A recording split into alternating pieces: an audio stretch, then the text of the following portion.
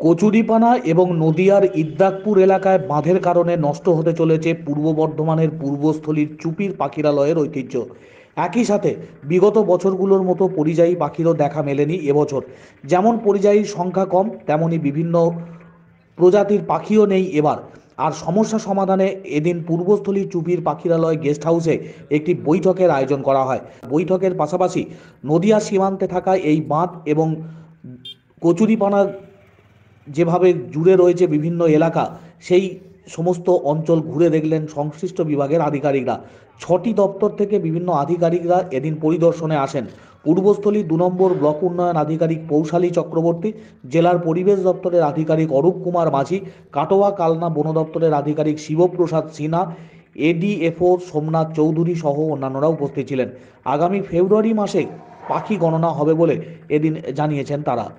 ছটা ডিপার্টমেন্টের একটা যৌথ পরিদর্শন হলো।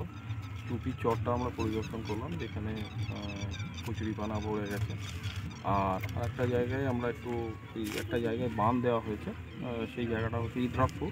সেই ইদ্রাকপুরে বাঁধের উপরে দাঁড়িয়েই আপনাদের সঙ্গে আমরা কথা বলছি।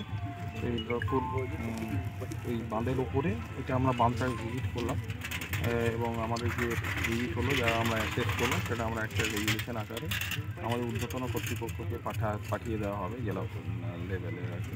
তারপরে সিদ্ধান্ত ওনারাই নেবেন। আমাদের ভাবনাটা বাঁধের মধ্যে, বাঁধের পরিপ্রেক্ষিতে কিছু নেওয়ার মতো জায়গাতে আমরা নেই, কারণ এই বাঁধটা হচ্ছে নদিয়া জেলার অন্তর্গত। তো আমরা পূর্ব জেলা পূর্ব বর্ধমান জেলার প্রতিনিধি। তো সেক্ষেত্রে আমরা নদিয়া জেলার যে বাঁধ আছে সেটা আমরা দেখেই গেলাম এবং আমাদের যে অবজারভেশন আছে সেটা আমরা লিখিতভাবে ওপরে জানাব। আমরা এইটা নিয়ে সিদ্ধান্ত নেওয়ার অবস্থায় নেই।